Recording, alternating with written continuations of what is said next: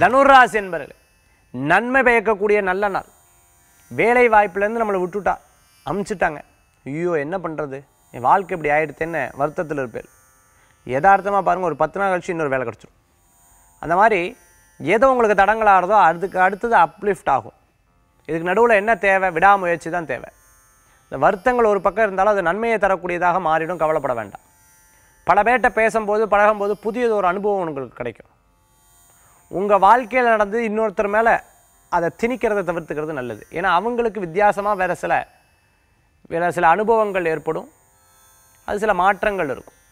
அதனால் அவங்க ஜெயிக்கிறத கண்டு நம்ம ஐயோ ஜெயிக்கிறாளேங்கிற எண்ணமே உங்களுக்கு கிடையாது. அதனால் அதை பற்றி சிந்திக்கவே வேண்டாம்.